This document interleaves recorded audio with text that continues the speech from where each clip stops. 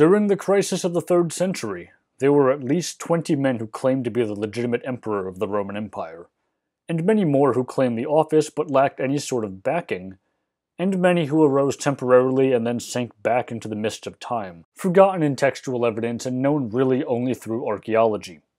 This video, which will be extremely short because our evidence is extremely scant, is about one of these men, or possibly two of them. The only textual evidence we really have for this usurper, Uranius, comes from the history of Zosimus, who writes that the soldiers, after this event, forgetting by degrees their former regard for Alexander, appeared unwilling to put his commands in execution, and in order to avoid being punished for their negligence, excited public commotions, in which they promoted a person named Antoninus to the empire. But he, being incapable of sustaining so weighty a charge, declined it.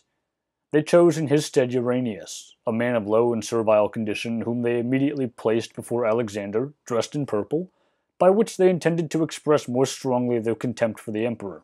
Alexander, finding himself surrounded with so many difficulties, became changed, both in bodily constitution and in disposition, and was infected with an insatiable avarice, amassing riches with the utmost solicitude, which he confided to the care of his mother.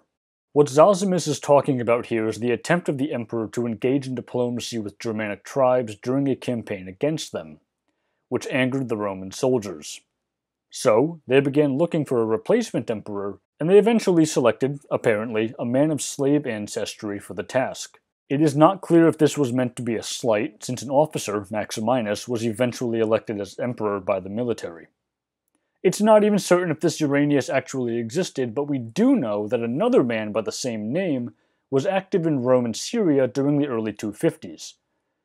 In 252, the Persians, under Shapur I, attacked the eastern provinces of the Roman Empire, and the great inscription of Shapur lists the cities his army besieged and apparently destroyed. What is missing from that list is the city of Emesa. Shapur seems to have successfully made it into Roman territory, but he seems to have had some trouble leaving it, in part because it would seem that, due to the lack of governmental stability, a man in that city attempted to declare himself emperor and fight off the Persians. A priest of Elagabal named Uranius Antoninus established a local militia and defended the territory around Emesa, and for the next year and a half, he minted coins with the image of Elagabal on one side and his portrait on the other at the mint in Antioch. Zosimus does mention that during the reign of Gallienus, a man named Antoninus rebelled against him and was declared a usurper, and this may be the same person as Uranius Antoninus who fought the Persians, but historians are not certain.